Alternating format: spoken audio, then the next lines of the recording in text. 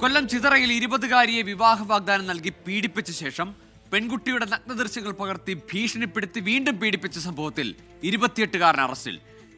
കാരിച്ചിറ മാങ്കോട് സ്വദേശി നൌഫലാണ് ചിത്ര പോലീസിന്റെ പിടിയിലായത്.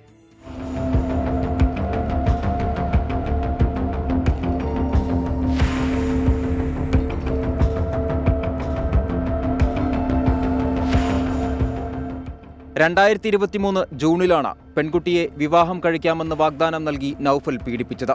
തുടർന്ന് പെൺകുട്ടിയുടെ നഗ്നചിത്രങ്ങൾ ഫോണിൽ പകർത്തി. സെപ്റ്റംബറിൽ പെൺകുട്ടിയെ വീണ്ടും പീഡിപ്പിക്കാൻ ശ്രമിച്ചപ്പോൾ പെൺകുട്ടി എതിർത്തു. ഇതോടെ നഗ്നദൃശ്യങ്ങൾ സോഷ്യൽ മീഡിയ വഴി പ്രചരിപ്പിക്കുമെന്ന് ഭീഷണിപ്പെടുത്തി വീണ്ടും പീഡിപ്പിക്കുകയായിരുന്നു. ജോലി കഴിഞ്ഞ് വീട്ടിലെത്തിയ മാതാപിതാക്കളോട് പെൺകുട്ടി പീഡന വിവരം പറയുകയും തുടർന്ന് ചിതറ പോലീസിൽ പരാതി നൽകുകയും ചെയ്തു. പെൺകുട്ടിയുടെ മൊഴി രേഖപ്പെടുത്തിയ ചിതറ പോലീസ് നൌഫലിനെതിരെ ബലാത്സംഗം ഉൾപ്പെടെയുള്ള വകുപ്പുകൾ ചുമത്തി കേസെടുത്തു. അറസ്റ്റ് ചെയ്ത നൌഫലിനെ റിമാൻഡ് ചെയ്തു. നൌഫലിന്റെ മൊബൈൽ ഫോണും പോലീസ് കസ്റ്റഡിയിലെടുത്തു. ട്വന്റി കൊല്ലം.